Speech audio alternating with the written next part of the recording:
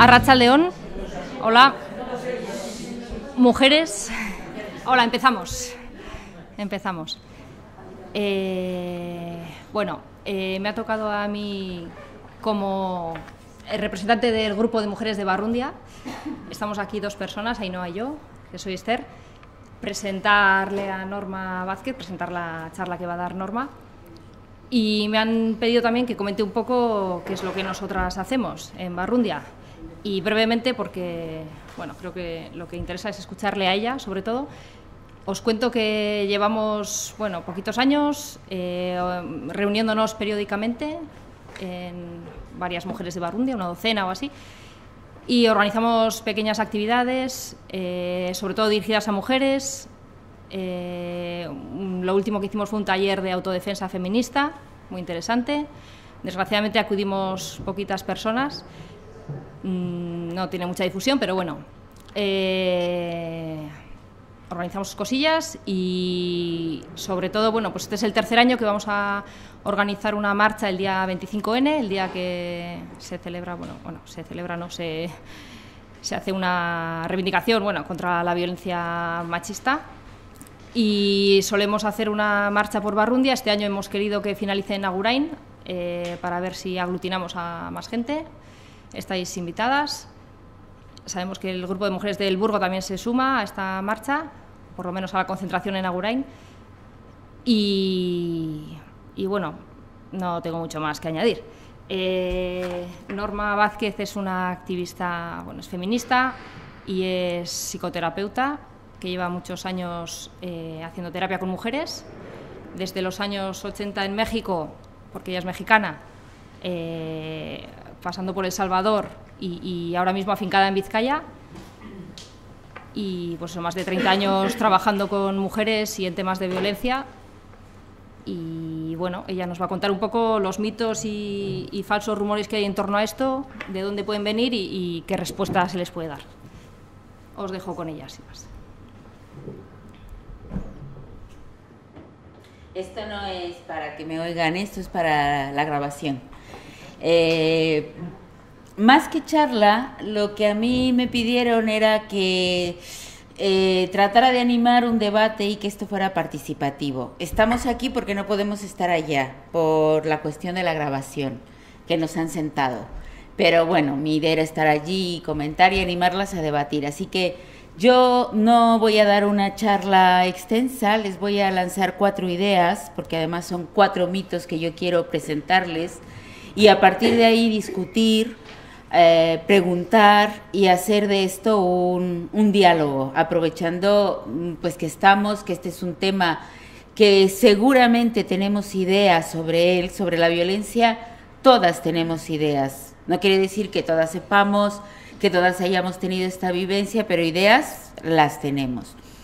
Yo quiero plantearles hoy cuatro, eh, digamos, si les podemos llamar mitos o ideas que se van construyendo que no están asentadas más que en la creencia, pero que acaban teniendo mucha fuerza y que las acabamos repitiendo y que a base de esa repetición, no tanto de, estudios o de constatarlo, sino de repetirlo, se van quedando como si fueran ciertas. Yo se las lanzo y hablamos sobre ellas, charlamos, ustedes pueden lanzar más, otras que eh, se les ocurran y que yo no haya señalado. Una primera, que fíjense, yo mm, mm, como me presentaba Esther desde 1982, que ya hace algunos años que trabajaba, eh, que vivía y trabajaba en México, es una pregunta que siempre han hecho y que ahora también siguen haciendo cuando hay una charla, una entrevista, eh, y es ¿qué perfil de mujeres sufren violencia? ¿Mm? Es como si no acabásemos de creer que todas las aquí presentes, y según las estadísticas, todas las aquí presentes, habría mujeres que están enfrentando violencia. Pero parece como que es muy difícil aceptar que la violencia está cercana. La violencia ocurre allá, en otros lados, a otras mujeres, no a nosotras. Y bueno, para eh, desestructurar esta idea, eh, mm, pues tenemos que empezar a preguntarnos qué es la violencia. Porque si identificamos violencia únicamente con golpes, se nos reduce probablemente el número de mujeres que, que están em, viviendo esa situación. Si identificamos violencia solo con muerte, con asesinato, se nos reduce también esa situación. Si ampliamos eh, la idea de violencia a todo aquello que hacemos las mujeres, aunque no queramos, o que no hacemos aunque queramos, por una fuerza que a veces no es física, sino es una presión que sentimos del medio, pues entonces ya podemos empezar a identificarnos más con unas ciertas formas de violencia. Entonces yo creo que en este tema, de si hay un perfil o no de mujeres, siempre vamos a tener, por un lado, la tentación de algunos sectores de la población, del gobierno, de los medios, de cerrar la violencia, es decir, de hacer que sean menos las mujeres que están viviendo. Entonces van a decir, pues son las mujeres, vamos a contabilizar únicamente a las mujeres que tengan violencia física, que tengan una huella, que lleguen al hospital, esas son las mujeres maltratadas. Y luego estamos las que trabajamos en este tema desde los movimientos feministas o también desde otros grupos, instituciones que quieren ver más allá y que quieren abarcar todo lo que es la violencia. Y obviamente nos queda mucho más amplia toda la población a la que nos acercamos. Entonces es como un embudo y una pelea. No es que nos estemos peleando físicamente, pero quien, quienes queremos abrir lo que es el concepto de violencia, porque es muy amplio y si empezamos a revisar en todos los sectores de la vida que vivimos violencia, pues vamos a ver que todas seguramente aquí, si empezamos a revisar nuestras historias, que no lo haremos, no se asusten, si no nos salimos, pero que siempre lo hacemos, por ejemplo, cuando investigamos, cuando discutimos con grupos, cuando hacemos talleres y empezamos a revivir nuestras historias de vida, hay momentos en que hemos vivido mm, un tipo de violencia con una intensidad, con otra, ¿no? Y todas nos vamos a ir sintiendo identificados. Claro, ¿qué pasa? Que si la ley nos dice que la violencia solo es la de la pareja o expareja, pues entonces allí todas las que no hemos vivido esa violencia, nada que ver con nosotras, ¿no? Eh, y esta tendencia a abrir o cerrar, pues es una de las que va construyendo una idea de qué es la violencia quienes la sufren. Esta idea de si hay un perfil de mujeres, inicialmente por lo menos cuando yo empezaba a trabajar en este tema o a dar charlas, siempre preguntaban porque decían, bueno, pues seguramente que son las mujeres pobres, sin educación, ¿no? Eh, ahora cuando trabajo desde aquí, pues son las mujeres migradas, ¿no? O sea, siempre hay un tipo de mujeres que sufre violencia. Y cuando tú les demuestran, y los datos les demuestran que no, que yo desde mi práctica clínica pues he atendido profesionales, profesionales que trabajan con víctimas de violencia, personajes, mujeres con buen nivel económico, con un estatus político, o sea, todo tipo de mujeres, jóvenes, no tan jóvenes, ¿no? Pero claro, no llegan probablemente a unos servicios públicos donde las podamos contabilizar, ¿no? Pero bueno, cuando ha pasado, cuando hemos podido lograr un poquito que no se diga o que no se hable sobre el perfil sociológico, entonces viene el perfil psicológico. ¿Qué es una víctima? Les suelo preguntar y, se los lanzo así para que ustedes también lo piensen y lo debatamos. Y entonces empieza, una víctima de violencia es porque es sumisa, o porque tiene baja autoestima, o porque tiene dependencia emocional. Conceptos que vienen de la psicología, pero que a estas alturas da igual si eres o no, o sea, ya es parte de las ideas. Entonces, claro, eh, ¿qué es tener baja autoestima? ¿Qué es dependencia emocional? Yo tengo dependencia emocional, reivindico la dependencia emocional porque creo que es humano. ¿no? Depender, sentirnos que formamos parte de algo. Sé que no lo dicen así, pero es un tema de debate, porque yo creo que ese es uno de los mitos que se hace, que hay, sobre qué es la violencia y cuáles son, quiénes son las mujeres que lo sufren. Entonces, alrededor de este perfil de mujeres, o cuál es el perfil ya no tanto sociológico, porque eso ya queda como un poco pasado de moda, digamos, si alguien pregunta sobre el perfil sociológico de las mujeres víctimas, pero sigue habiendo el perfil psicológico. Y nos encontramos con que yo me encuentro con que mm, personas, hombres, mujeres, pues que no están versadas estas personas en el tema psicológico, sin embargo te hacen el diagnóstico, es que esta mujer tiene baja la autoestima o tiene una dependencia emocional. Y dices, pues vamos a ver, porque yo he atendido mujeres con la autoestima muy alta, ¿eh? Con la autoestima muy alta, triunfadoras, pero, ¿no? Algo, no necesariamente su autoestima, sino en otro terreno, no estaba funcionando bien. Se lo dejo para que lo piensen para el debate. Yo les lanzo esta, esta idea, este segundo, este primer mito, perdón. Segunda idea, que esta es más actual y esta es muy de aquí. De aquí, quiero decir, de estos lados del mundo. Eh, hoy tenemos, hoy las mujeres tienen todos los recursos para salir de la violencia. Así que si no salen es porque no quieren. Porque tenemos, eh, pueden denunciar. Además, yo siempre planteo como que esta idea fantasiosa y hay mucha gente que se la cree. O sea, que te dicen, mira, hoy un hombre le da así un empujoncito a su pareja y entonces ella va, denuncia, eh, le dan una casa, le dan un trabajo, le quitan a él a los hijos, ¿no? Y ya no lo dejan verlo, lo meten a la cárcel. Y esta idea se la cree mucha gente, ¿eh? Sobre todo se la creen muchos hombres también.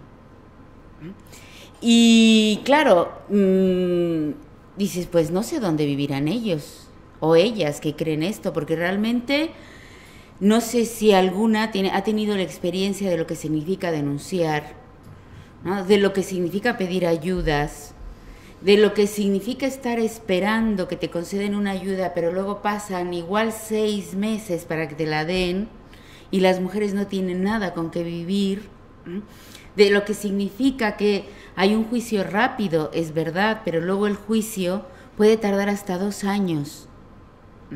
O sea, cuando realmente, yo por lo menos esto se lo suelo decir a alguna gente cuando lo discutimos, pues la gente no sabe que esto es así. Entonces corre la fantasía, el mito de que hoy hay muchísimos recursos y si las mujeres no los usan es porque no quieren. Mentira.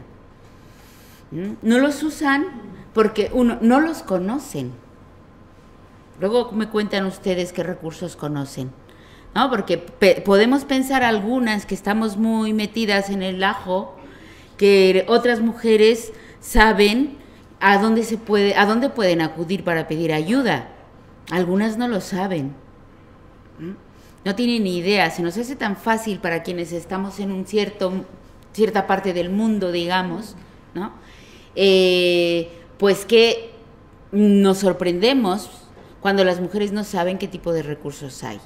Cuando las mujeres luego tenemos información o del todo claro de eh, cómo podemos acceder a esos recursos. Eh, mujeres que creen que solo pueden acceder si denuncian eh, y no quieren denunciar. O sea, mucha confusión sobre mm, qué derechos tienen, a qué, a qué ayudas pueden recibir. Las mujeres que nos interesan que lo sepan probablemente no lo saben y luego hay mucha fantasía en la sociedad de que hay muchísimos recursos. Y entonces, como hay muchos recursos, dos cosas. Uno, ¿no? Es que las mujeres siguen allí porque les gusta, porque no quieren salir. Y siguen, siguen en esa pareja, pues porque algo encontrarán allí. Y dos, que también es un mito muy extendido, y que es el, tercero que yo voy a mencionar, y es que como hay tantos servicios y hay tantos recursos para las mujeres, hay muchas denuncias falsas. Tercer mito, fuerte, arraigado. Todo mundo, yo siempre que doy una charla, siempre hay alguien que me dice, pues yo conozco una mujer que tal y que cual. O sea, siempre hay alguien que conoce una denuncia falsa, aunque no haya nadie que conozca una denuncia verdadera. ¿Por qué? ¿Por qué este mito y por qué se arraiga tanto? Yo creo que porque hay interés en que esta idea de las denuncias falsas eh, quede como, como, como una realidad. Y es una realidad sobredimensionada. Para mm, promocionar esta charla, hablaba con una periodista el lunes que me decía, pero ¿tú no crees que aunque sean pocas las denuncias, hacen muchísimo daño a la lucha de las mujeres? Y yo le decía, pues yo lo que creo es que hacen el daño que permitimos que hagan, que hagan esas denuncias, ¿no? Porque las sobredimensionamos. Recientemente, y lo, ella me lo preguntaba a raíz de un caso que fue muy mediático, de una mujer que había acusado, y veo como varias cabezas afirman, o sea, que se conoce, ¿no? ¿Qué más conocemos de esa mujer? ¿Qué más conocemos de su historia? ¿Por qué nadie se pregunta por qué lo hizo? Y no juzgo que lo que, lo que hizo hiciera bien, ¿eh? ¿No? Pero ¿qué más conocemos de esas historias? Se da por hecho que porque eso que denunció no era cierto, todas las anteriores eran falsas. ¿Por qué no sabemos más de esa mujer? ¿Por qué solo sabemos de esa denuncia en concreto? ¿Hay un interés en que sepamos eso y no el resto? Hay un interés en sobredimensionar una denuncia falsa por todas las demás que son verdaderas. Y preguntámonos por qué. Yo les dejo la pregunta, ¿no? ¿Por qué? ¿Por qué tiene tanta fuerza?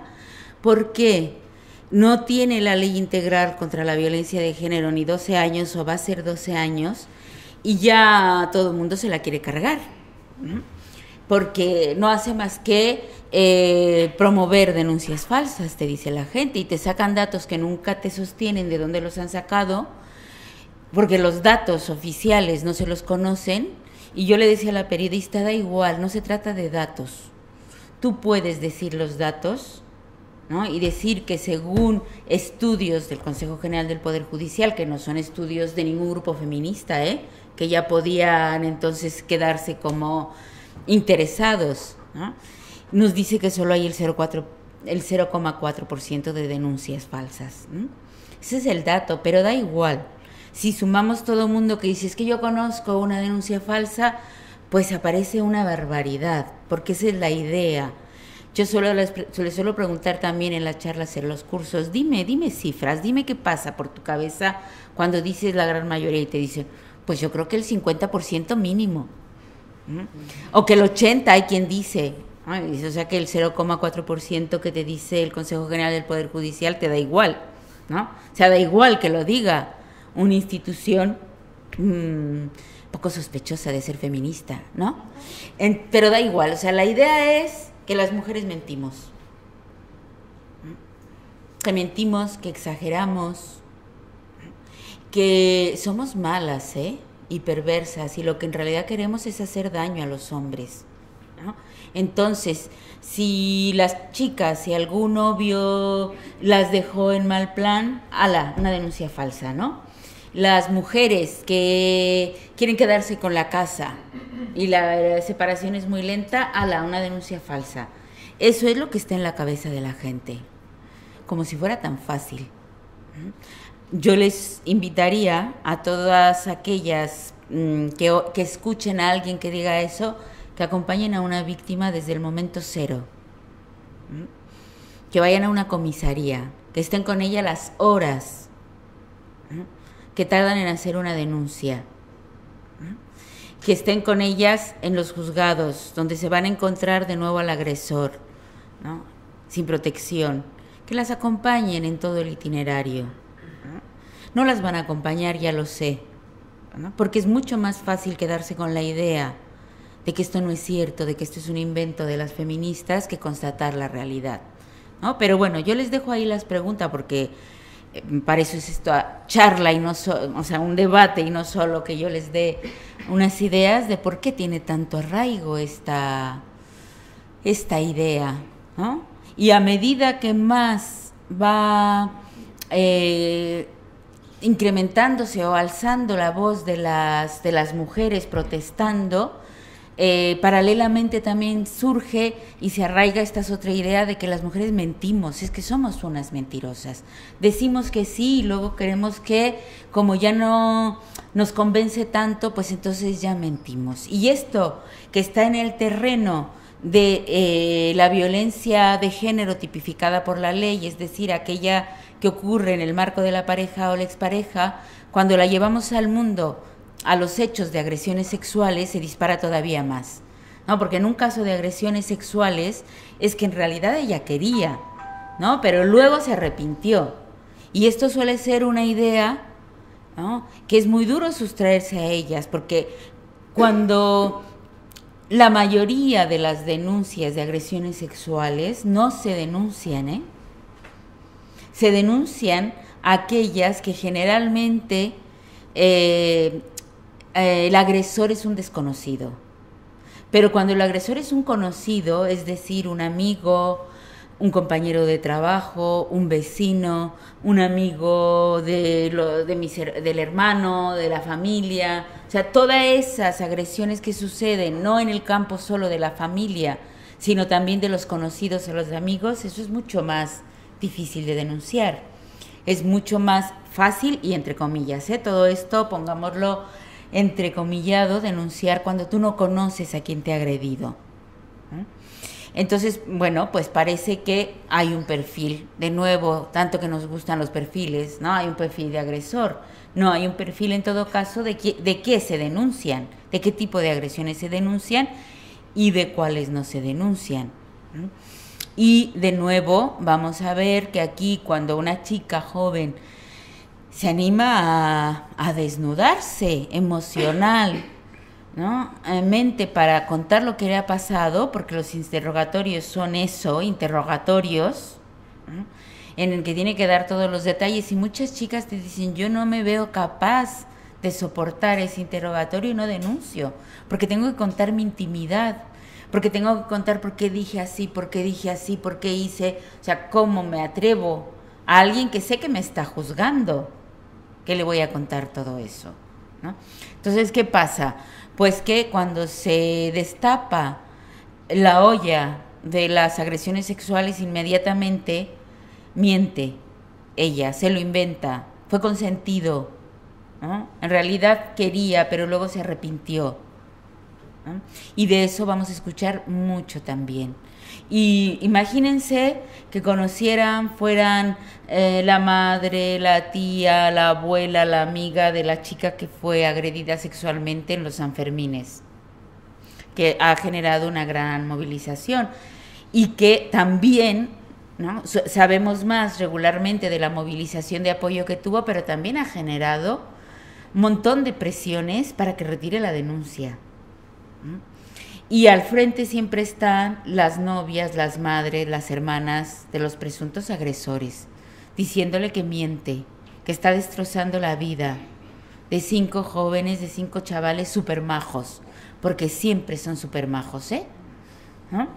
Porque siempre son mm, mm, gente maravillosa, ¿no? De la que no nos podemos imaginar esas cosas tan, tan terribles. Entonces, esto, en todo en torno a todo este tema, de eh, cómo las mujeres hoy, como nos sentimos muy fuertes y muy eh, respaldadas por el gobierno, pues entonces vamos denunciando falsamente a pobres hombres. Y esa es una idea muy arraigada. Ahí les dejo para que ahora que charlemos, después del último, del cuarto y último que les plantearé, veamos un poco por qué y qué fácil se difunde todo esto entre la población. Y de la mano también del anterior mito está otro que suele ser eh, y que va tomando fuerza también ¿eh? y se va organizando.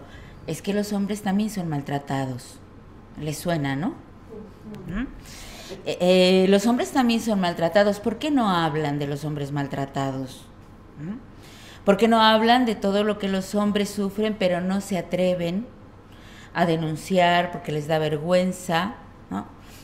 Claro que hay y yo diría, no solo hombres, hay muchos niños maltratados de los que deberíamos hablar y no se habla. Hay muchos niños abusados sexualmente, ¿no? El día que destapemos también esta olla del abuso sexual, nos asustaremos muchísimo, probablemente, ¿no? Eh, y claro que tenemos que hablar de esos niños, de esos niños que son abusados sexualmente por mm, hombres de su familia, amistades de la familia, em, familiares no del primer nivel, sino de la familia ampliada, sacerdotes también, eh, profesores. Y tenemos muchos niños, adolescentes maltratados y abusados sexualmente. Claro que los hay. Por supuesto que los hay que hablamos de ellos y que tenemos que hablar de ellos. Que nos resistimos a hablar de ellos y hablar del abuso sexual que se hace a los menores, pues porque suele, suele suceder que eh, no queremos, si no queremos ver la violencia en la pareja cuando son adultos, mucho menos queremos saber de la violencia a las y los menores. Lo, tapamos allí, en las cuatro paredes de la casa. Un, pocas investigaciones hay sobre esto, ¿eh? sobre el abuso sexual a los menores. Y yo creo que una, una cosa que la evidencia clínica, por lo menos mm, la que yo tengo y cuando la compartimos con algunas otras colegas, es que cuando ocurre un abuso sexual en la familia, mm, la familia lo sabe, pero lo calla y, es una complicidad en toda la familia que tapa este problema. Y que, por supuesto, vamos a hablar, vamos a hablar de los hombres maltratados a todos los niveles y de todas las edades, ¿eh? De los niños, quienes abusan a los niños, a los adolescentes. Claro que hay agresiones contra los hombres. ¿Quién? Hagamos investigaciones, que no hay muchas, porque todas son sesgadas, hagamos investigaciones sobre quién maltrata a otros hombres.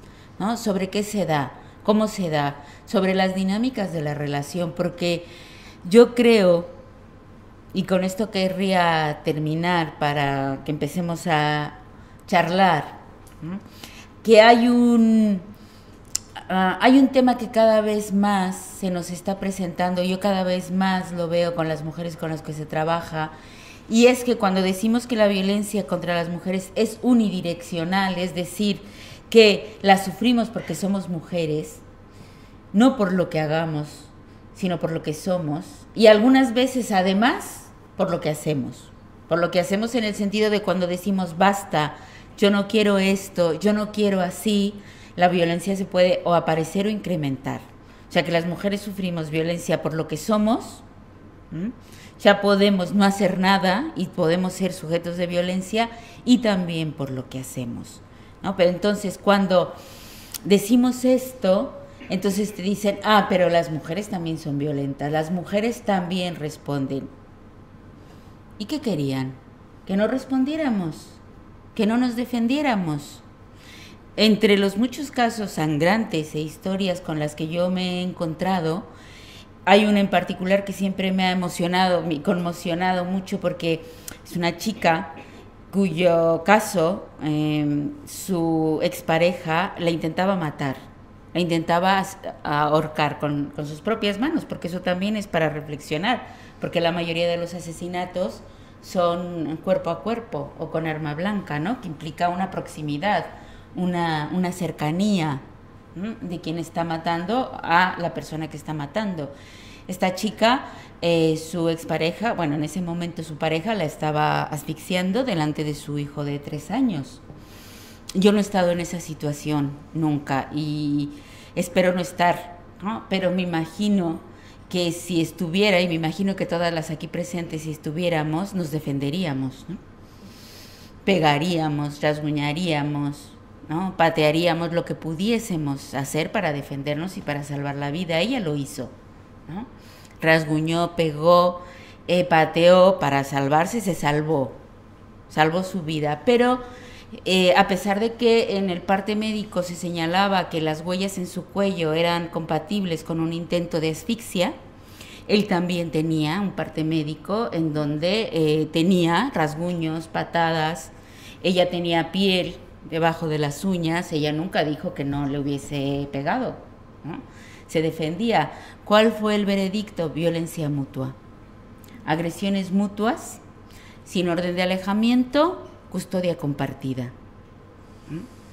Eh, bueno, es esa es una de las historias que no se le da realce mediático.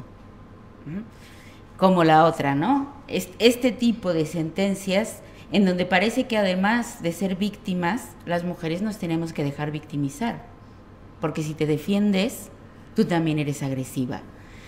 ¿Dónde está? ¿No? O ¿cuándo hemos empezado a pasar la línea del derecho a defenderte a que eso se convierta en agresión? Y a que cada vez más haya sentencias que te hablan de violencia mutua y a que lo que defiende la ley integral de esta violencia unidireccional, porque somos mujeres y porque es un abuso de poder, se empiece a perder, empiece a decir, ah, no, pero es que las mujeres también pegan.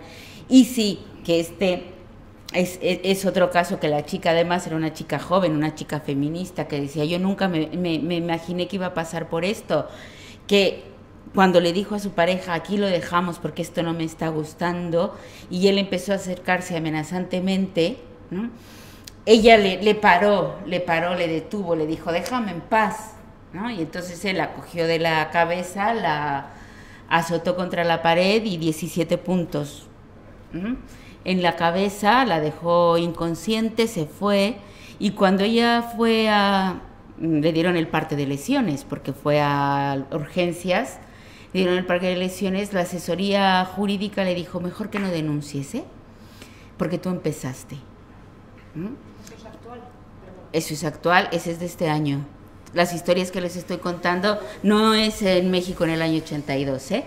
es aquí, bueno, no aquí, en Alegría no, ¿no? es en Bilbao, y es en este año, ¿no? Entonces eh, lo que le dicen es no denuncies porque tú empezaste y tú puedes ser la imputada. Y Fiscalía le dice no denuncies porque tú eres la imputada, tú empezaste. Y ella me decía, yo empecé, yo me defendí. Yo me, y es proporcional además que yo le diga, deja, déjame, y que él me coja eh, la cabeza y me pegue. O sea, ¿dónde estamos? Cuando hemos pasado la línea de la defensa del derecho a defendernos a ser agresoras. Porque eso es lo que pasa con todos estos mitos, cuando sostenemos esto, cuando no nos peleamos, porque eso es mentira, porque hay todos estos casos a los que no se les da ningún realce mediático, porque si se les diera empezaríamos a ver todo lo que está ocurriendo eh, con las mujeres, e igual todas las ideas equivocadas que tenemos se nos empiezan a caer. Pero esto está ocurriendo hoy y está ocurriendo en buena parte ¿no? porque todas estas vivencias de las mujeres que se sienten, además de agredidas, victimizadas por la justicia, se callan, se viven en silencio y con vergüenza. Y no hay nadie que saque a la luz esto y diga, miren, esto está pasando. Digo, aparte de mí que se los cuento, pero no va a salir de aquí. O espero que salga de aquí, que lo difundan, pero no va a abrir un telediario, ¿no? Como abren las noticias de las, de las denuncias falsas, de las presuntas o reales o sobredimensionadas denuncias falsas, ¿no? Entonces yo creo que todo esto nos debe hacer pensar o les invito a compartir y a pensar, ¿no? Cómo es que construimos esta lucha contra la violencia, cómo es que también se las vamos transmitiendo a las generaciones más jóvenes, porque algunas ya vamos llegando a la hora de jubilarnos en esto, todavía no, pero casi. Y hemos avanzado, desde luego que hemos avanzado, pero cada paso que damos tiene una reacción. Entonces parece que damos un paso, dos atrás, tenemos que volver a pelear. Hoy hay cosas que yo estoy discutiendo que ya discutí hace 30 años, que parecía que ya no se iba a discutir, pero se sigue, porque es este tema, es un tema que difícilmente vamos a arrancar de raíz en una generación. Nos va a costar más de una y más de dos probablemente, y juega un, papel muy importante las ideas que vayamos construyendo. Pero bueno, como a mí me dijeron que era un debate, yo les he lanzado cuatro ideas de, de lo que yo creo que son algunos de los mitos, los que yo veo más frecuentes, pero las quiero oír. Su opinión, preguntas, otros mitos que igual les está, ustedes han escuchado. Yo estoy aquí para mm, responder las preguntas que pueda ¿no? O para hacerles más preguntas o para reflexionar de manera conjunta eh, cómo avanzamos en esta, en esta problemática.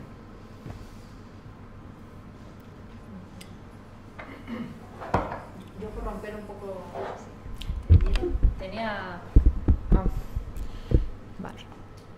Dos dudas muy comunes. Bueno, eh, mm, bueno, primero una, una pregunta porque has hablado del perfil de, de la víctima.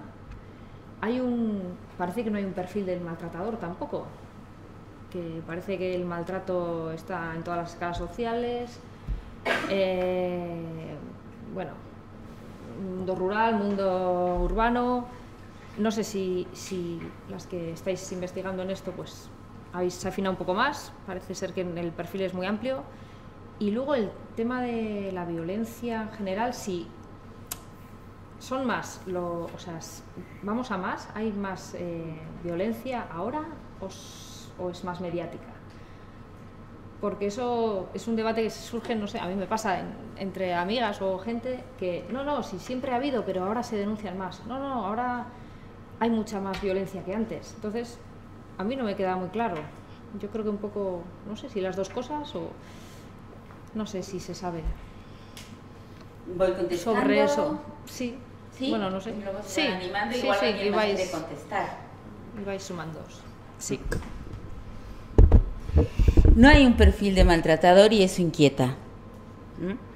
Porque no, no hay. Eh, también depende de que entendamos por maltratador. Es decir, mm, puede que haya muy pocos hombres, es más, no puede. Yo aseguro que hay muy pocos hombres que matan. Porque si no, mm, nos mudaríamos todas a Marte, ¿no? O sea, hay muy pocos hombres que, que- llegan a asesinar. Luego creo que si hacemos un círculo concéntrico, hay otro un poquito más numeroso que maltratan físicamente. Hay un poquito más numeroso, va creciendo, que maltratan psicológicamente. Y luego hay un amplio grupo, mucho más amplio, eh, que normaliza la violencia y que maltrata como parte de su masculinidad sin darse cuenta. Yo, por ejemplo, esos, algunos poquitos, muy poquitos de esos, son los que alguna vez piden apoyo psicológico, porque no se dan cuenta de lo que están haciendo. Y a veces parece que hablamos en distintos idiomas. ¿no? Eh, no, no ven que es la violencia. Y luego creo que el sector más grande de hombres puede que nunca maltraten, pero se callan mucho. No están en esto, ¿no? No están en, en- en- en tratar de entender. Yo no trataría de entender. De hecho, es que no hay hombre. Bueno, ¿quién nos filma? Ya. Porque la violencia es un problema de mujeres. La violencia es, es, es- es un problema de mujeres, tal como se ha entendido. No es un problema de los hombres que padecemos las mujeres, que es un eslogan feminista de los años 80. ¿No? La violencia no es un problema nuestras mujeres, es un problema de ellos, lo sufrimos nosotras. ¿No? Entonces, ¿qué pasa? Pues que la gran mayoría se calla. Y probablemente nunca va a maltratar ni física ni psicológicamente, pero se va a aprovechar de sus privilegios de hombre. Se va a aprovechar. Por lo menos eso me cuentan las mujeres que dicen, no, es que mi marido es majísimo, majísimo, ¿no? Pero ¿cómo le hago entender ciertas cosas que de verdad no puedo hacerle entender cuando le digo que, que, yo le necesito y me dice, ¿qué quieres? No, es que no puedo. O sea, las necesidades emocionales a veces son difíciles de traducir, por ejemplo.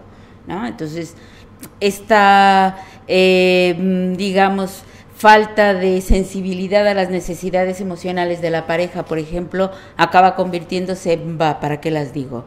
Si no me va a entender, ¿no? Y acaba normalizándose que, un hombre no haga caso a tus necesidades eh, emocionales, ¿no? Entonces, bueno, no, no hay perfil de maltratador. En alguna ocasión, yo de vez en cuando, y por, por entretenerme, no porque me guste mucho, pero porque siempre hay que aprender cosas nuevas, creo yo, eh, una vez al año trabajo con un grupo de hombres ¿m? voluntarios, super majos dentro de una escuela como esta, en un ayuntamiento, eh, que quieren reflexionar sobre este. Y cuando llegamos al tema de violencia les cuesta, y ya más de alguna vez hemos tenido nuestras más y nuestras menos, porque lo, lo bonito que tiene y por lo que yo lo hago es porque les digo, chicos, no se equivoquen, la que manda aquí soy yo. Yo soy la que sabe entonces nos ponemos en una posición distinta de poder y aunque ellos son más y muy peleones y rebaten mucho y no se quedan callados en absoluto, ¿no? Pero yo tengo el poder de la, de la profa, de la que guía la discusión. Y el tema de violencia le suele remover mucho, ¿no? Sobre todo porque no hablamos de la violencia física, ¿no? Hablamos de todo esto otra violencia psicológica y luego casi siempre en las evaluaciones del curso suelen decir que este tema es lo que más les mueve porque se han identificado en alguna forma de violencia que hacen, ¿no? Y entonces eso les remueve mucho. ¿no? Y, y, no les gusta sentir, no que son maltratadores, pero que alguna vez se han aprovechado, que alguna vez han hecho algún ejercicio de poder sobre una mujer, incluso sobre mí, ¿no? Lo que pasa es que ahí lo discutimos, lo peleamos y lo reconocemos. ¿Querías decir algo? Sí, por entrar un poco en diálogo y porque... No, no, no os preocupéis. No, digo, y porque antes de entrar a la segunda pregunta que ha planteado Esther, eh, claro, tú has planteado un poco el tema de perfiles de maltratadores y has dado una respuesta normal que a mí me crea, eh, desde luego, contradicciones llamar a todos esos perfiles que has dicho a todo el mundo maltratador. Es decir, has, dicho, o sea, no hacer caso de las necesidades emocionales de tu pareja también es una forma de maltrato. Le llamamos a todo maltrato. Quería, porque yo creo que este es un tema que a veces, es decir, hay una reivindicación desde el feminismo, ¿no? De hablar de violencias machistas en general y que es importante, ¿no? Porque es importante sobre todo también para lo que has dicho, ¿no? Para para que se entienda que cuando hablamos de violencia no son solo los asesinatos que salen en la televisión, evidentemente no estamos hablando solo de eso. Pero meter eh, todo tipo de discriminación, que evidentemente vivimos en una sociedad machista y por lo tanto no estamos en igualdad mujeres y hombres y por lo tanto las manifestaciones de esa desigualdad son muchas y muy diversas, llamarle a todo maltrato tiene alguna ventaja, ¿entendéis un poco, no? Es decir, porque a mí me da la impresión que a veces, o depende en qué círculos, confunde más que aclara, ¿no? O no sé si sirve, es una pregunta, ¿eh? para eh, poner el foco en cada momento en lo que nos interesa, porque no estoy diciendo que haya que pasar por ese otro tipo de discriminaciones. Bueno, un poco por ahí. Igual eso, si queréis alguien más intervenir en esto, animaros, ¿eh? Lo que pasa es que yo la realidad, yo les he dibujado como círculos concéntricos, pero la realidad es más complicada porque alguno que no maltrata, pero se aprovecha de sus privilegios, en situaciones muy puntuales puede saltar a un círculo que ya signifique maltrato. Y eso, porque me lo cuentan los hombres, ¿eh? ellos mismos. Como ciertamente no todo es maltrato, pero hemos dicho siempre que el maltrato nace de la desigualdad. No es lo mismo, pero nace. Entonces, ¿cómo alguna vez algún hombre y por qué mecanismo puede saltar de esta mm, desigualdad normalizada a una situación de maltrato que puede ser... Mm,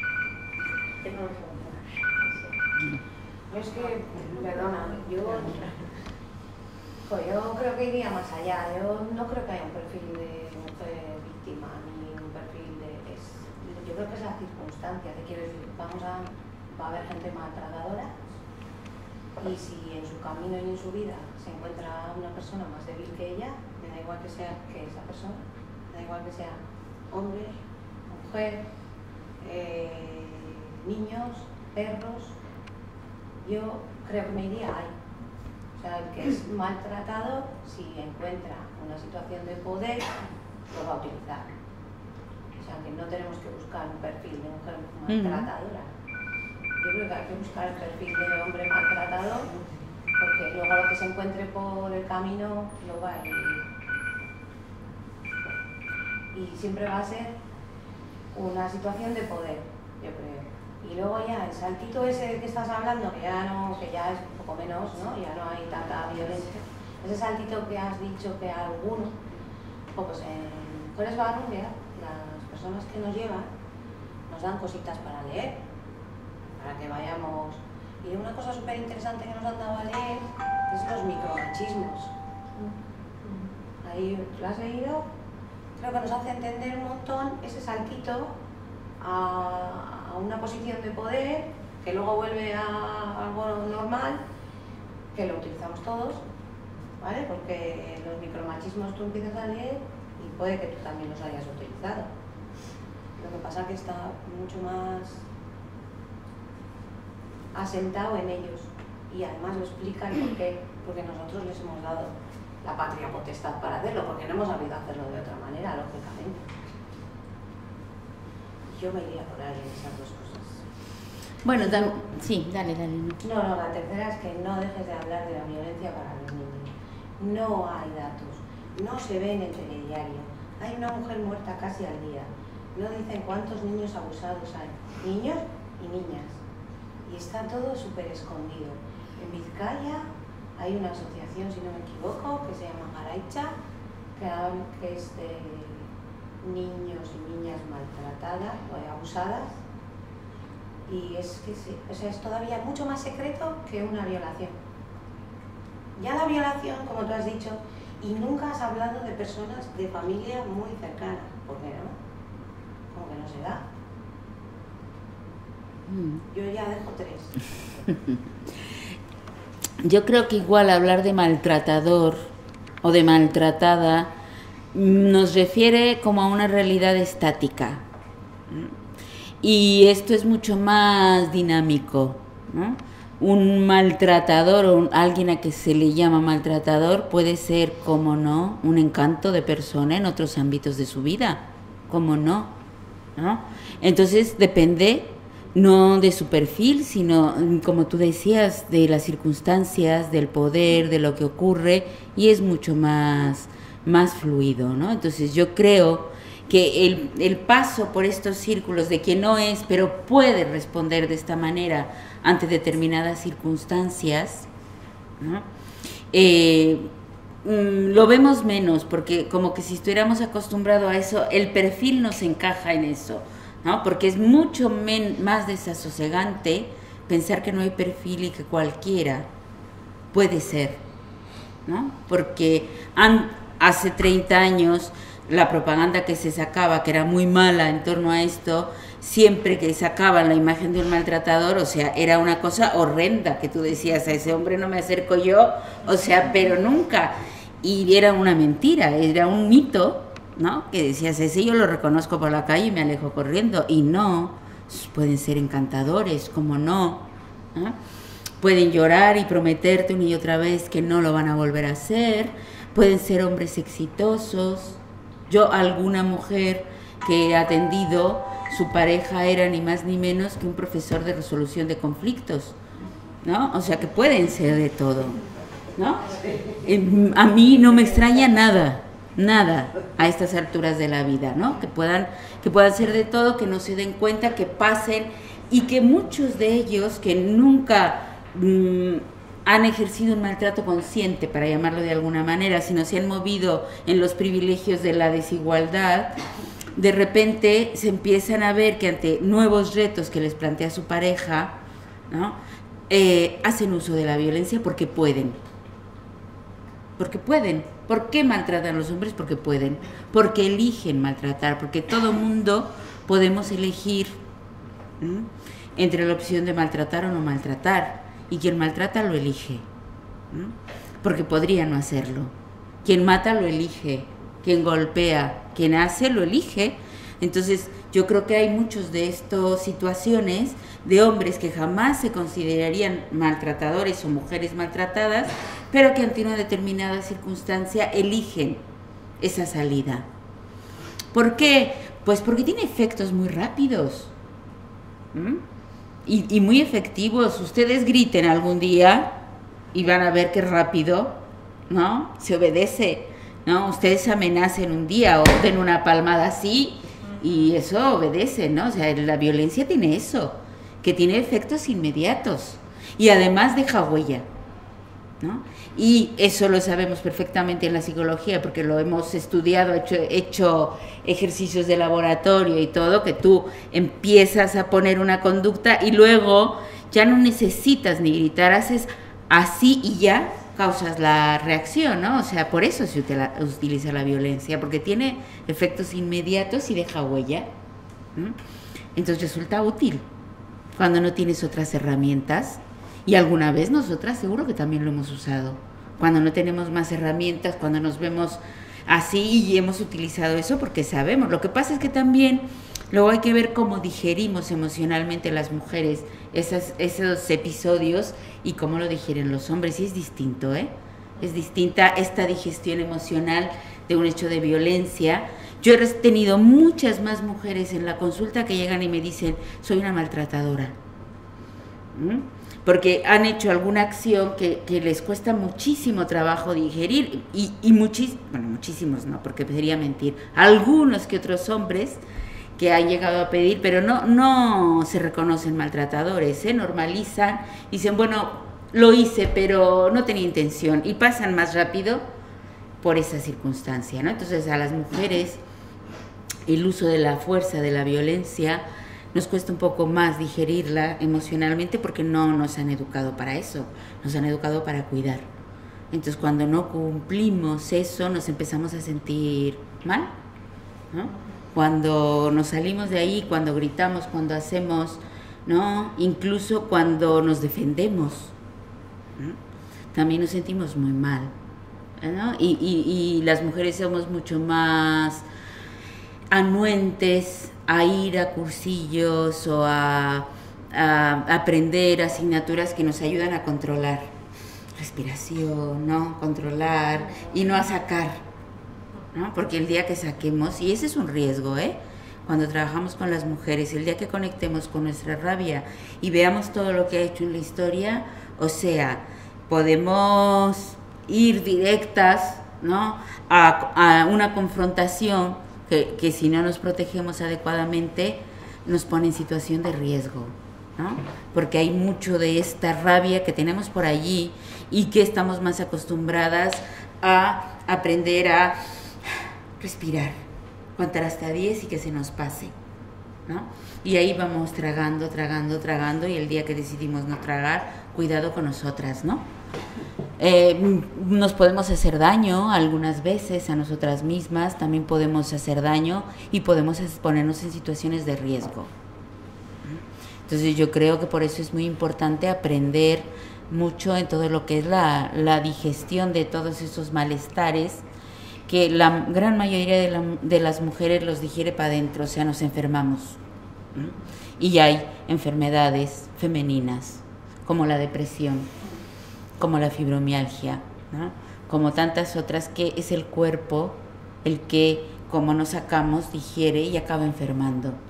Y hay muchísimo, muchísimo de esto en los malestares de físicos de las mujeres. Un poquito más yo les suelo decir a las mujeres con las que trabajo medio broma, medio en serio, un poquito menos de yoga, un poquito más de kickboxing, ¿no? O sea, eh, vamos a no solo aprender a tranquilizarnos, sino también aprender a, manejar y a sacar, porque si no lo comemos, nos enfermamos. Y hay muchísimas mujeres enfermas. Bueno, eh, volviendo a lo, que, a lo que has dicho, yo creo que lo que has dado a entender, o yo te entendí, es que hay una brecha educacional. A los chicos se les educa para ser eh, violentos y nosotras nos lo tragamos.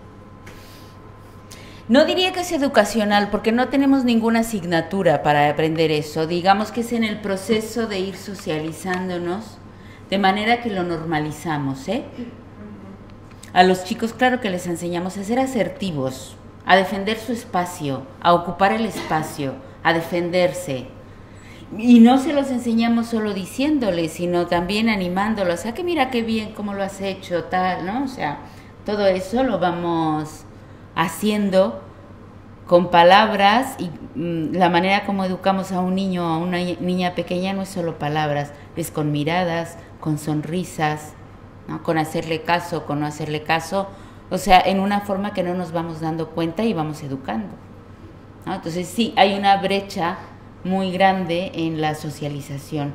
A las niñas, en cambio, y esto que digo es general, luego por supuesto que hay, que hay casos particulares en que esto no es así, y tenemos mujeres asertivas, niñas asertivas que serán mujeres asertivas, esperemos, ¿no? Y niños que no saben defenderse también. ¿Y algo de genética no hay en eso? Genética, Es que yo, estoy por, y- yo estoy por levantarme. Genética, y no me voy a levantar. Si yo me pongo así, ¿qué soy? ¿Una chica o un chico? No me miréis qué soy. ¿Qué soy? ¿Una chica o un chico? ¿Qué Por la voz, una Por la chica. voz. Vale, y ahora no me mires a mí, mírame mi postura. ¿Qué soy? Se parece de chico, es macho tío. Y así les educamos. A las chicas les educamos así y a los chicos les educamos así. Este es su espacio. Todo este es su espacio. Y este es mi espacio. Simplemente con eso, yo creo que, que, que es mucha la diferencia como les. Ay, ha venido una experta. A ver, yo no soy bióloga y yo te entiendo que desde la biología puedas entender, pero yo creo que las conductas complejas de las personas, ¿no? Mm, tienen mucho más de social, de aprendizaje, de presión, de miedo a ser rechazada, ¿no? Porque si tú ocupas el espacio y te sientas así, ya te empiezan a ver mal, ¿eh?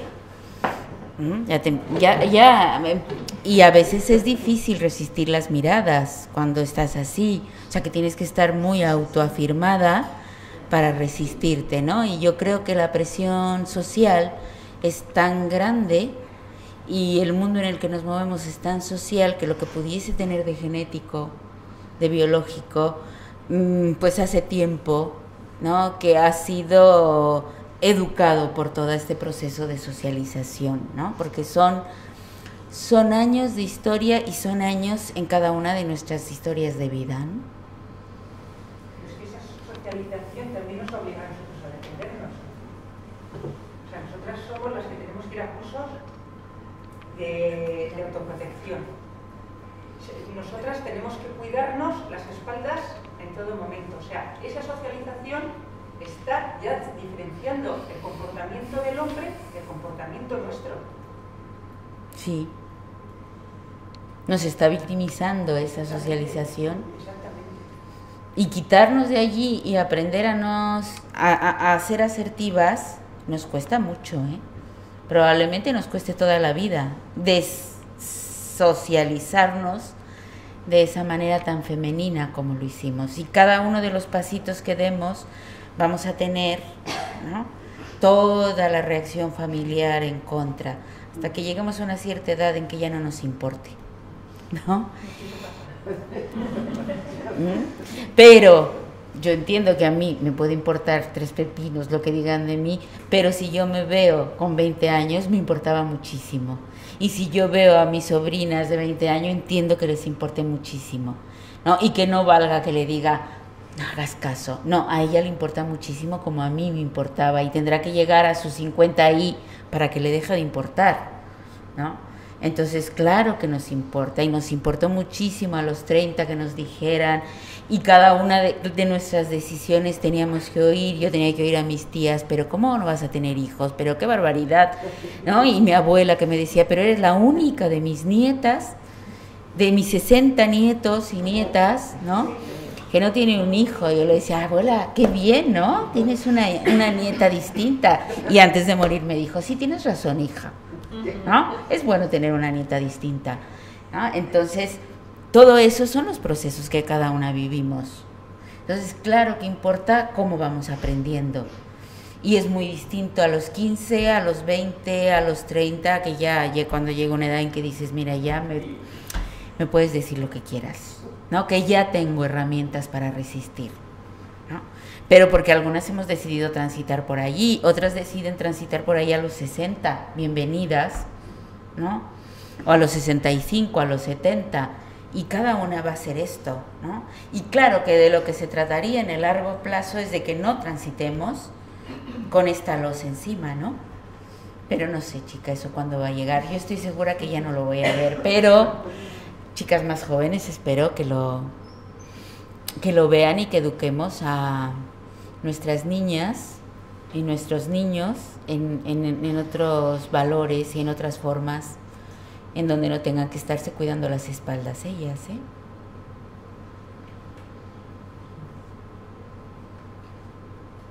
Esther hacía otra pregunta. ¿Hay más violencia, menos violencia, nuevas violencias? ¿Qué pasa? Yo creo que un poco de todo. ¿Mm? Yo creo que un poco de todo porque vivimos en una sociedad que, qué duda cabe, de, de 40 años para acá ha cambiado muchísimo. En una sociedad de la rapidez, de la inmediatez, de la respuesta inmediata, de que no hay tiempo para pensar, para reflexionar, que queremos la respuesta ya, a golpe de clic. Y, y, eso genera mucha, una situación de mucho más estrés. Eh, y eso es real. Vivimos en una sociedad además donde los roles, sobre todo los de las mujeres, han cambiado mucho y hay más diversidad que, que hace 40 años. Hay mucha diversidad femenina de las mujeres que ya empieza a ser más normalizada. ¿no? A, a, estudiar, a ir al colegio, a llegar a la universidad y está más normalizada en esta época que en la mía, donde todavía ¿no? era como, uy, vas a ir a la universidad, pues a lo mejor me... no, porque no vas a poder. ¿no? Eh, o sea, muchos cambios, muy acelerados, muy rápidos, eh, que cuesta hacer digestión de ello. Hay muchos terrenos en donde hemos ganado cierta cuota de igualdad y muchos otros en que no. Entonces, ¿qué pasa? Que normalizamos menos la violencia que nuestras madres y nuestras abuelas aguantaban. Ese es un fenómeno y es verdad. Mi abuela decía, tu abuelo tenía mal carácter, ¿no? Yo le decía, no, era un maltratador, según, ¿no?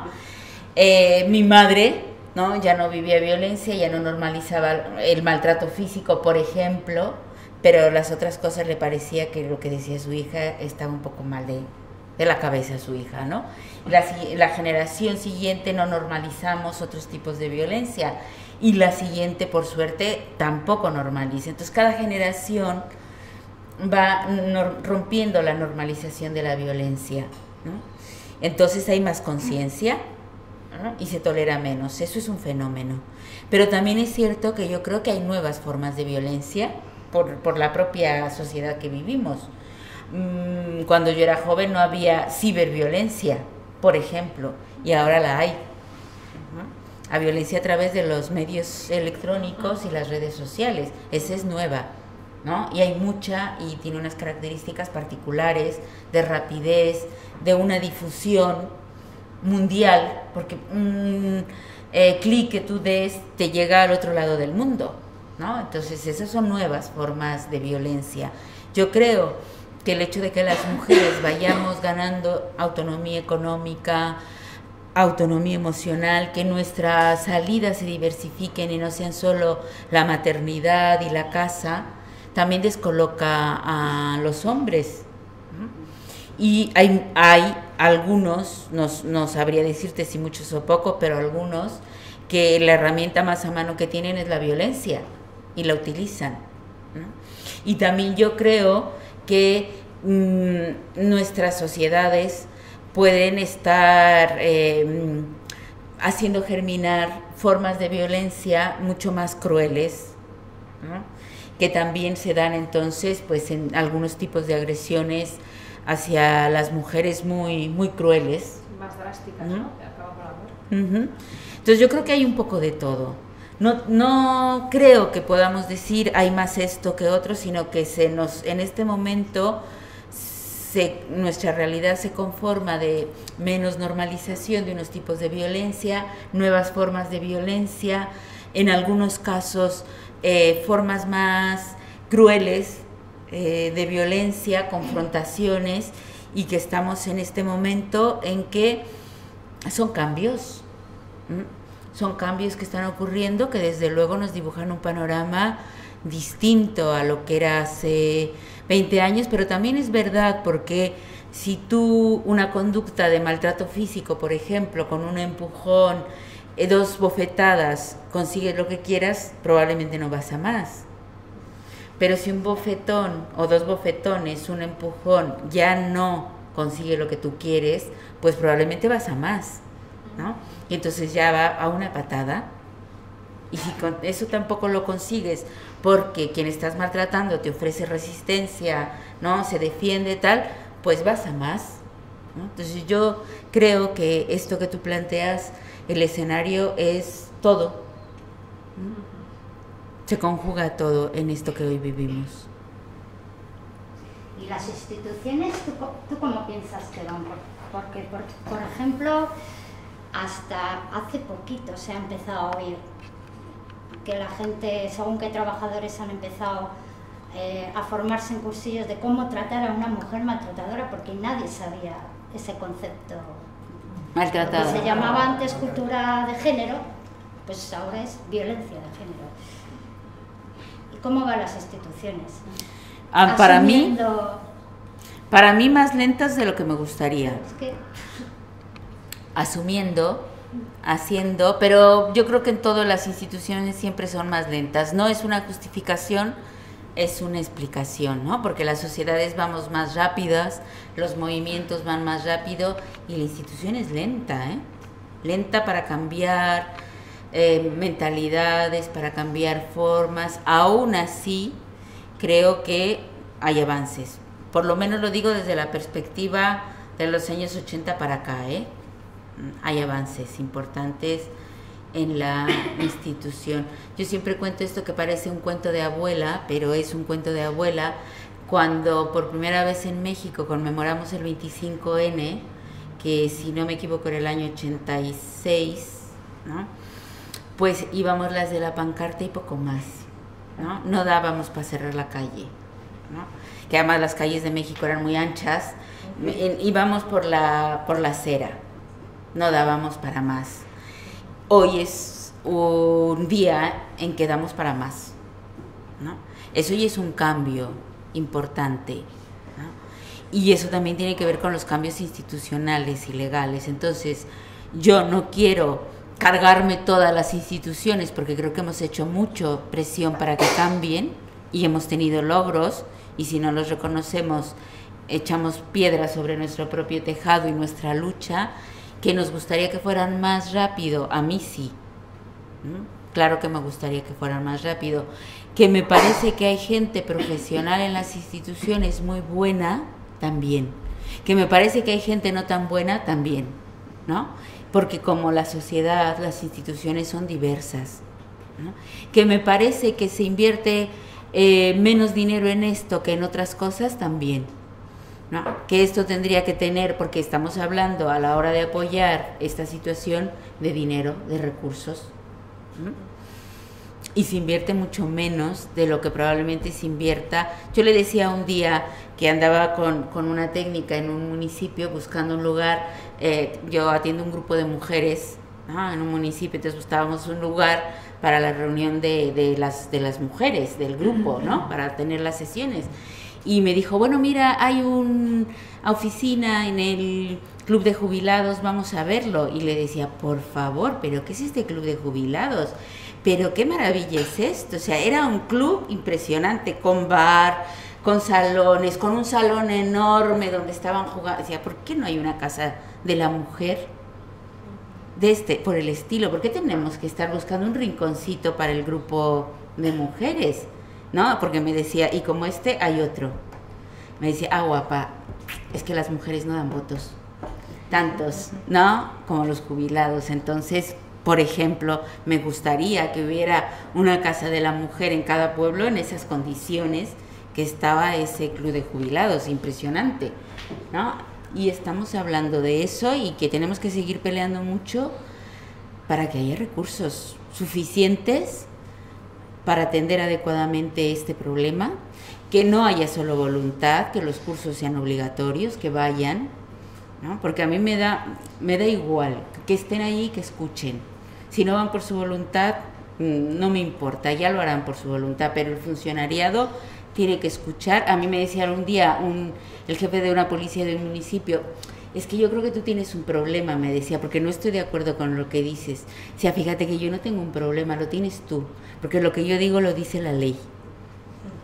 Entonces tú eres el que igual, ¿cómo te arreglas para decirle a tus subordinados que no cumplan la ley? Ah, Entonces yo no tengo problema, discúlpame. Yo me voy de aquí tan tranquila, tú tienes un problema. ¿no? Y eso es lo que tenemos que hacer, porque eso que hoy está en la ley es de nuestra lucha, ¿eh? Y que no nos digan que es que no creo, es que me da igual que no creas, es que es tu obligación cumplir la ley. Y, y, y se siente una también diciendo esto, ¿no? Porque lo tienen que hacer. Y es por nosotras, ¿no? ¿no? No, solo por las que estamos aquí, sino por muchas mm, otras eh, miles de mujeres que han peleado por, por esto, ¿no? Entonces creo que hay que seguir peleando con la institución, pero hay que aprovechar todo lo que tiene la institución, ¿no? Incluso estos espacios que son institucionales.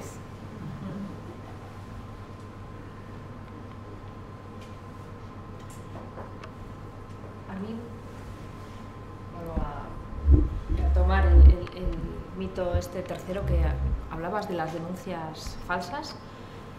No sé, no sé por qué se, sobredimensionan, ¿no? O sea, mm, bueno, me cuestiono el, los medios de comunicación, ¿por qué no tienen otras cosas de qué hablar? Están dominados por hombres. Al final es porque se les cuestiona, bueno, al final su poder, ¿no? Eh, no, no, sé por qué, no sé si, si se habéis investigado un poco más sobre eso, pero es, es una ¿a quién le interesa? Sí. ¿A quién le interesa que se sobredimensionen ¿no? las pues denuncias con, falsas? Con todo esto de las denuncias falsas, ¿a qué le llamamos denuncia falsa? ¿no? Sería lo primero. Porque, además, que decir, hay mucha gente que, que decir, hay muchas denuncias que se retiran por mil motivos, algo han mencionado, ¿no? entre otras cosas pues por, por, por, no conocer los recursos, porque son temas muy complicados, ¿no? porque a lo mejor, es decir, que hay un mogollón de mujeres, son un mogollón, entre comillas, que van a los juzgados, que van a o que van donde la trabajadora social, que ponen una primera denuncia, que luego ven en dónde se meten en todo ese mogollón judicial que además no controlamos ¿no? y que nos parece todo el mundo y que, y que la retiran. Y a eso se le llama también denuncia ¿Eso se falsa. le llama denuncia falsa? Hay una mezcla en todo eso. Entonces eso no es una denuncia falsa, eso es que en un momento dado has emprendido un camino que además no conocías, que te desborda y que decides pues, que no estás preparada para abordarlo. ¿no? En eso también tiene gran, para, mi, desde mi punto de vista, gran responsabilidad la propia ley, aunque es cierto que en la comunidad vasca no se requiere que haya una denuncia para poder apoyar a la mujer que está sufriendo violencia, en realidad la ley lo que dice es que pues, para poder acceder a los recursos pues, de protección, alejamiento, etcétera, tienes que poner una denuncia. Y sobre todo al principio de la ley yo creo que había, pues, bueno, y eso hemos hecho todo, ¿no? Denuncia, denuncia. ¿Cuántos mensajes no habréis oído? Sí. El primer mensaje es denuncia. Yo no digo que no haya que denunciar, pero no es la única vía. Y es un camino muy difícil y la mujer tendrá que denunciar cuando esté preparada para saber a todo lo que se enfrenta. Y claro, a todo eso también se le llama denuncia falsa. Y, y, mucha gente, incluso yo solo he oído, gente de los juzgados y gente de la policía que dice, de todas las que vienen, luego al final esto se queda en la mitad, porque todo es, porque son mentiras, porque empieza, es decir, hay ahí hay llamarle, un batiburrillo. ¿Llamarle mentira a eso? Es que decir, hay mucho, mucha confusión, a mí me da la impresión, ¿no? Eso por un lado. Yo, nada, solo un apunte sobre el tema de las denuncias falsas y el papel de los medios y demás. El 25 de noviembre del año pasado, el titular de portada de un periódico de gran tirada, o sea, del correo en concreto, era el 30 y no sé qué por ciento de los vascos opina que hay muchas denuncias falsas. Ese era el, el, gran titular de portada. Y luego, muy pequeñito, muy, muy pequeñito, en letra muy pequeña, decía, según la Fiscalía, solamente el 0,4% de las denuncias son falsas. Entonces, bueno, yo me agarré un rebote porque dices, bueno, es que esto no es inocente, claro, esto no es, no es inocente para nada. Dices, además, qué atrevimiento, o sea, precisamente el 25N, hay todo el movimiento volcado, especialmente esos días en, bueno, en, tener presencia en la calle, desde las instituciones también, haciendo un esfuerzo importante alrededor de ese día y luego pues nos desayunamos con ese titular. Entonces, ¿por qué, no? Bueno, en fin, ¿qué hay detrás de esto, no? No es inocente, ¿no? Pues, creando opinión posiblemente, ¿no? Como igual es, eh, no sé, la editorial del propio correo, ¿no? Su línea editorial, que va. A ver, referente a lo que son las denuncias faltas, o sea, falsas. Eh, a ver, yo me dedico a eso, estoy en el turno de violencia, entonces he conocido... En un principio eh, acudían las señoras a comisaría, les acompañábamos, ponían esa denuncia porque la ley nos encauzaba a poner esa denuncia. Y claro, tú le explicabas, pon la denuncia, pero date cuenta que tienes que estar bien segura a dónde sales con los hijos, a qué casa vas a volver, porque si vas a poner la denuncia, solicitas un alejamiento y le tienes al otro en casa, a ver, ha ido cambiando poco a poco, ¿no? Intentas que a través de los servicios sociales primero consulten las salidas posibles y y lo que siempre que hemos visto mm, beneficioso es que haya eh, unión entre los letrados por un lado, que son los que vamos a acompañar y se te van a cargar encima y dices, ¿qué hago? ¿Me la llevo a casa? En alguna ocasión nos hemos visto así, o porque en Durango no sabías contactar con él, estabas en juzgado de guardia y dices, ¿y a quién llamo? ¿A qué servicio social? ¿Quién está de guardia? Ahora sí, la misma archaña ha ido cambiando, hay un protocolo que sí que hemos visto. Yo de Vizcaya he dado el salto a Álava y he descubierto el cambio que hay en Vitoria, por ejemplo, con la Policía Municipal y cómo nos explican de cómo recogen las denuncias, si las recogen, porque en realidad trabajan con esas víctimas, trabajan eh, el hecho social, el hecho de los hijos, de cómo cuidar de ellos, de cómo eh, buscar la casa, medio de vida, porque el otro trago es dificilísimo. Nosotras muchas veces nos hemos visto en la situación de, eh, tener una persona contigo porque ya en el momento que la coges ya eres la abogada para siempre, pero para siempre, para lo, penal, lo civil, eh, el psicólogo, porque no hay, pues también descargan, como dicen ellas, que descargo muy bien contigo, pero claro, llega un momento que no puedes con todo eso, necesitas, y, muchas veces decimos colaboración con los trabajadores sociales para poder tener ese contacto y decirles, mira, vete, que te den esa solución para que uno mismo sepa qué es lo que puede ir al juzgado y reclamar. ¿No? Si le puedes aconsejar el divorcio de determinada forma o una separación de determinada forma, sabiendo que va a estar segura cuando salga de casa o cuando ese sujeto que hay que echarle muchísimas veces dice, vale, pero ella con los polluelos que tiene alrededor se van a quedar bien. Entonces, eh, denuncias falsas, a ver, desde, me acuerdo yo con lo de la violencia, de las primeras eh, órdenes de protección de Guernica me tocó a mí ni siquiera en Archaña se sabía cómo hacer, pero se presentó una señora y no nos habíamos ni leído la ley porque fue en agosto. Salió en agosto y ¡zas! ya estaba yo. Pues llevo con ella toda la vida, me han crecido muy bien las niñas, o sea, estupendamente. Todo muy bien, pero aquel trago de aquel momento de no saber ni cómo, y, y hablando con el juez, cuando pasamos al juzgado de guardia, ¿qué hacemos con esta familia? Pues igual actúas por las bravas, ¿no? Sale adelante, denuncia, se le condena al hombre, le echamos fuera y empieza la vida de una familia con normalidad. Luego lo separamos y tal. Pero a partir de entonces, y ya con la ley integral, empezaron a cambiar las cosas. Y sí que vimos que eh, había muchas personas que denunciaban, pues porque, eh, o bien, que no era lo general, pero ocurría, ¿no? Eh, aparecían, es que nos ha dado el caso llegar al juzgado y decir, bueno, quiero la orden de protección y luego, ¿y dónde me apunto a Echevide? Cosas de esas. Ese comentario que te puede ocurrir una vez, ocurre varios, se comenta en un bar y eso ya es vos populino y entonces parece que todos llegan por eso. Pues no. O porque, mira, le dan una paguita y la paguita es para toda la vida. Hombre, alguna tenemos que no se presenta, soy víctima, digo, mujer, en 14 años habrá que espabilar un poco, no puedes ser víctima y no te presentes, soy una víctima de violencia, me llamo fulanita y hago esto, ¿no? Entonces, pero eso, ahí son las personas, que hay veces en que a pesar de que les explicas que hay una denuncia, vas a presentar una denuncia y es un rodillo que estar muy seguro, piensa bien. Yo creo que no se puede, ante un momento traumático, cuando tienes un periodo de tiempo, vete al médico, que tú no puedes llegar en pleno trama a una comisaría con una señora que te ponen allí, soy la abogada, y le explicas, pim, pam, pam, esto va a decidir toda tu vida. Yo pienso que no. Y hay muchas personas que al día siguiente o ese mismo día llegan al juzgado y les, lo primero que les dicen, ley de enjuiciamiento criminal, usted tiene la dispensa de no declarar nada contra ese señor, que es su marido, porque tienes esa dispensa. ¿Se va a coger a su dispensa?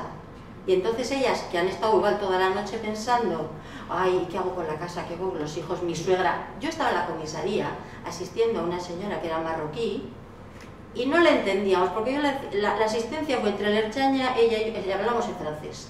Pero en árabe hablaba ella por aquel teléfono, no callaba, y al final dijimos, ponela, no le entendíamos, pero era árabe. Pues allí había voces de mujeres, de hombres, y según ella decía era la suegra, el cuñado, el otro, todos diciendo a ver qué hacía allí, porque el otro estaba detenido abajo en el calabozo. Pues hay, esas personas que llega el momento que se ponen delante de un juez y lo primero que le dice, estoy enrollando, ¿tiene usted esta dispensa de, de, no declarar? Ella dice, vale, me acojo a la dispensa.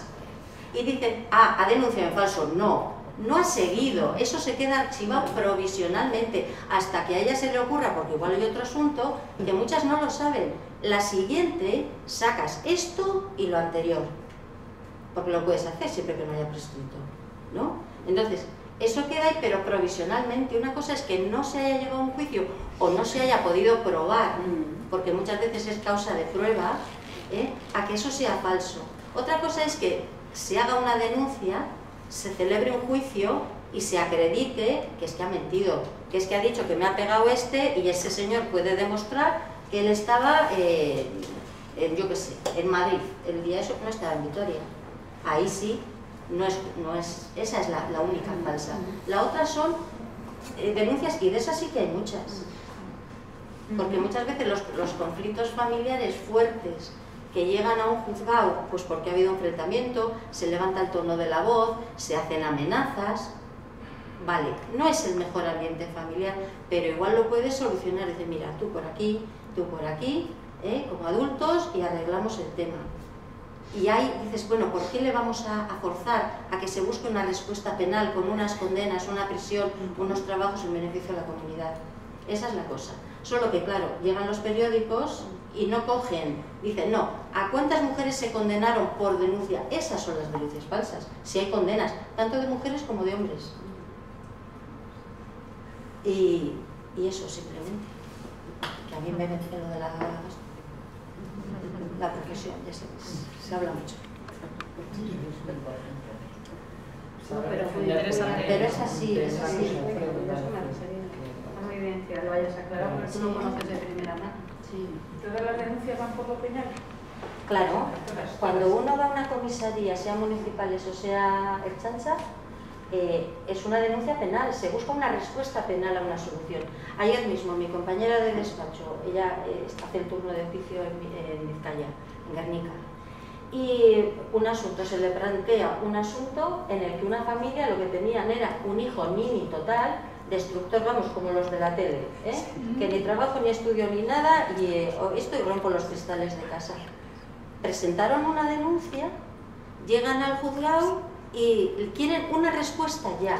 Dicen, pero aquí la respuesta va a ser orden de alejamiento. Ah, no, eso no queremos, ¿cómo vamos a echar al hijo de casa? Dice, no, no, pues eh, aquí lo que vamos a buscar es un alejamiento del padre porque ha habido una agresión y se le va a pedir una pena, bueno, que puede ser de prisión o de trabajos en beneficio de la comunidad. Y eso es lo que se va a buscar en un juzgado, no soluciones. Y ellos emperrados que eh, con que tenían que darles una solución. Lo más que consiguieron es hablar con los servicios sociales del pueblo en el que residían y concertar una cita. Y dice, iros ahí y que os busquen una solución. Cuando en realidad por lo que hablamos nosotras, todos veíamos, claro, si no tiene dinero y no trabaja el chaval, pues esos padres que no quieren lo otro, que le pongan una pensión, que le pongan a ella a vivir fuera de ellos, tranquilamente, y le mantengan. Si es eso, si muchas veces es eso. Hay otra situación en la que tampoco, con el maltrato, ¿no?, que diferenciamos. Yo hace años eh, llevaba un divorcio, a raíz de él, eh, la esposa le denunció por maltrato, por violencia de género y mi cliente, que era él, eh, acude a un psicólogo de ahí del pueblo, acude a un psicólogo clínico y empieza el tratamiento y dije yo, vale, muy bien, para el divorcio, que me diga que eres una bellísima persona, que tú no maltratas a nadie, que eres fenomenal. Hablo con el psicólogo pues para que me hiciera un informe de parte. Me hace un informe y me, me dejó así, vamos, que yo no iría no, a ese psicólogo nunca, porque me dio una explicación muy extraña. Me dijo, la violencia no existe, la violencia de género no existe. Y le digo, ¿y eso por qué? ¿Cómo puedes afirmar? Y dice, porque en el fondo es que lo que dicen las mujeres es falso. En el fondo todos somos animales. Y si a un perro tú le pegas una vez, muere. A la segunda no le vas a pegar. Y dije yo, ¿y dónde está la sumisión? El que esa mujer se va acostumbrando y cada vez baja más la cabeza y le quitan ya la, capacidad de, de, de defenderse, porque es eso, ¿no? Le van minando. No, no, no, no, no. Estamos todos muy equivocados. Entonces, pasamos de aquello que a mí me dejó, pues eso, helada, en cuanto pude, pues ya escapé del asunto porque ya no puedo, hay cosas que no se pueden defender porque no son buenas para la salud. Dice, si no puedes convencer, pues bueno. Y, y pasamos de eso al, otro, al otro extremo, de que cualquier cosa, aunque no hubiera violencia, o sea, el saber que yo he ido a un juzgado, me han condenado, una arañazo así en la mano, puntual, eh, de una discusión que fue tas y justo queda esa marca, hay una marca, hay una herida, tengo una condena. Tengo una condena, un alejamiento, y dices, bueno, lo tengo que defender porque son asuntos que pues, te tocan, los tienes que defender de oficio. Y, y dices tú, bueno, ¿y este maltrato es el mismo que aquella otra mujer que has llevado que estaba marcada morada de arriba abajo y no quería denunciar? Esa es la diferencia, es lo único yo creo que hay que ver. Que dices, mm, en la ley, maltrato es lo mismo, este arañazo que el otro, que no se pueden poner en la misma, en la misma eh, balanza. Y así. Pero bueno, pero que en, los, en las eh, comisarías lo único y en los juzgados se consiguen denuncias. Denuncias y condenas penales y órdenes de alejamiento y medidas de alejamiento y nada más. Si se denuncia. Si se denuncia. Si se la vigilancia ellos en vez de a. Pues eh, él sería el que tendría que estar ahí vigilado. Ahora, cuando llegan a la comisaría, hay un protocolo, la estancia tiene un protocolo muy bueno, les ofrecen lo mismo, un teléfono borcha que sirve para cualquier momento comunicar con la comisaría, les localizan enseguida, si ellos dan al, ellas dan al botón, enseguida llega la patrulla y al mismo tiempo les ofrecen, según el riesgo que ellos valoren, si ven que hay riesgo de que pueda ocurrirles algo, tener escolta. Entonces hay mucho Orchaña que anda por ahí de paisano, pero que están pero, me, refiero que ella es la que tendría que tener la libertad de hacer lo que ella quiera. Y no que tiene que tener su escolta por si salga a la compra, pues que se la pongan a él. Y que esté vigilado a él, que es el malo, que no la escolta la siga la buena. De, eh, lo, lo, que has comentado antes, ¿no? Eh, eh, juicio rápido, juicio rápido que bueno, se puede celebrar, instruir en, tres, en un día, pero luego tienes 15 días para llegar al juicio, para que sea rápido, para, para el juicio. Pero si entra esa denuncia y no se tramita como juicio rápido, y empezamos con las diligencias previas. Y yo voy a pedir informe forense, oh, que tengo un arañazo, quiero informe. Ellos también, porque la legítima defensa desaparece cuando se trata de mujeres. Digo, si a mí me pegan, por lo del perro, como yo me he acostumbrado, recibo, ¿no? Entonces, ellos, en realidad, eh, generalmente, y suele ser así, eh, son, buscan informes y testigos. Entonces, eso retrasa. Y el informe y la unidad de valoración forense integral, donde les vean todos y demás, y eso retrasa y hace que ese juicio, esa denuncia que se tramitó tal día, pues o se celebre en, en dos años, o yo en tengo uno, ya, tengo uno que me han señalado para el día 7 de febrero del año que viene, y cuando digo yo, este es antiguo, miro, empezamos en el 2012 o sea que lo de los dos años se ha quedado... Qué valenta la justicia. Y se va a celebrar en el, 2017. Por eso digo ahí, que... ahí está las, las... Pero ese, es el- ese sistema, es la ley, es el La colapso de los juzgados, que una vez que llega a Bilbao, a ver, pues nosotros, pues porque de Guernica llegar a Bilbao, ¿no? Aquello tarda. Aquí en Vitoria, pues lo que he visto hasta ahora, pues va rápido. Bueno, tengo alguno que está también ahí, como enquistado un poquito, pero, Sí, creo que más. pero va más, sí. No sé si es porque hay más rapidez, porque allí el juzgado es mixto, es civil, eh, instrucción normal más violencia, pues no lo sé. Pero que es así. Y que, curiosamente, y esto porque siempre lo hemos dicho, cuando surge la ley de se, crean pues, los partidos judiciales los juzgados de violencia, los letrados específicos para eso con todos nuestros cursillos y en concreto en Guernica Durango se hizo un partido judicial único en el que los letrados eh, éramos nueve y nos llamábamos las madres fundadoras porque éramos todas mujeres y estábamos saltando de Guernica Durango donde nos llamaran, ¿no? Pasa el tiempo y funcionaba, el turno de oficio aquello funcionaba de maravilla, ¿no? Empiezan a incorporarse hombres, y no es por decir nada, ellos son abogados, pueden hacer, y de pronto ya había, empezaron las conformidades, empezamos a oír, bueno, va, eso, total, mm, como que no, o sea, todas esas cosas que has dicho las hemos vivido en primera mano. Cuando antes veías sota, caballo y rey, estaba claro, ¿no? Pero visto con los ojos de una mujer.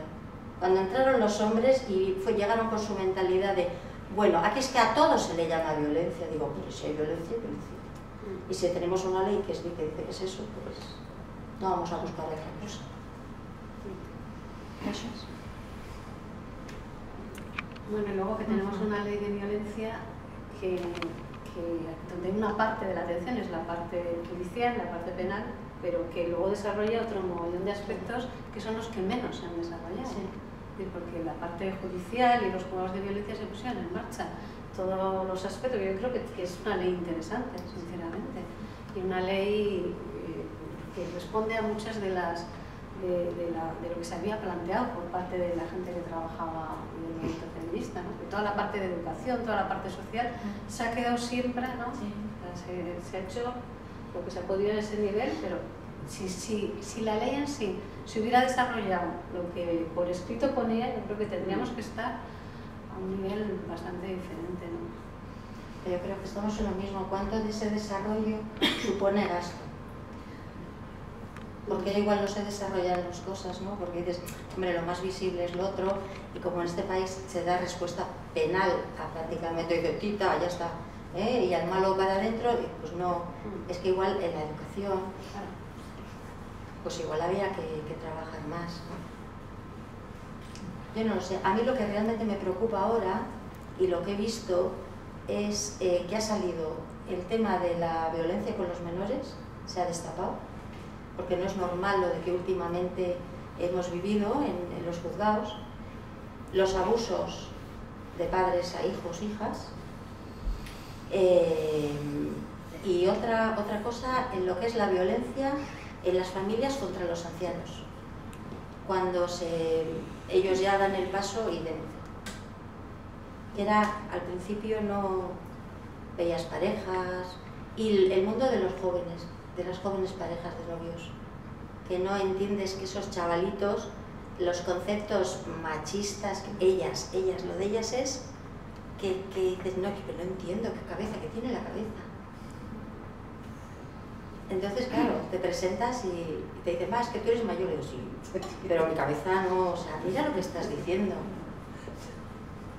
Es que me quiere. Y luego, bueno, ya como somos un mundo global de los que vienen ya de otras latitudes y te enfrentas, primero te hacía gracia, ¿no? Pero dices tú, pero lo están transmitiendo a sus hijos. Cuando venían marcadas y te decían, espérate, joder, es que bueno, sí me ha pegado, pero mi marido es muy macho y entonces nos dejaba así como, es tan macho, esa expresión de conceptos como diciendo, y se, estoy orgullosa, y bueno, que no, que te ha dejado. Y Te a han la- llamado los vecinos. Y a la vez has- estaba denunciando. no, no, eran los asuntos en los que llegaban por denuncia de los vecinos, porque había habido la tripulca de... Y ella llegaba, eh, eh, digo, a ver, es- pero claro, si tú ves a alguien que no tiene nada, pero si tú ves a alguien con el ojo que está así en medio caer, ¿eh? y la cara llena de moratones, pues ¿No entiendes? Pero es cuestión de mentalidad. Bueno, mi mentalidad muy que no hace tantos años también era muy habitual sí. eh, tener ese tipo, hacer ese tipo de comentarios, vamos. Y no podría yo solo era. Igual también es, lo que pasa es que se calla más porque somos más políticamente correctos y hay una conciencia de que eso no está dando en visto, ¿no? Y entonces nos, nos callamos esos comentarios que luego se pueden hacer en, en corto, ¿no? Pero ciertamente yo creo que estas ideas de que él tiene derecho y la violencia como demostración de amor es un peligro. Que, que ahí estaba donde también hay que invertir, lo que decía él, ¿no? La ley tiene que, que invertir ahí para transformar estas ideas y ahí nos invierte, ¿no? Entonces seguimos pensando, seguimos creyendo que eso es amor. Y eso no es amor, eso es violencia. ¿no? La violencia no tiene nada que ver con el amor. Y a ver de qué manera transmitimos esto a todas las chicas, niñas y mujeres adultas también.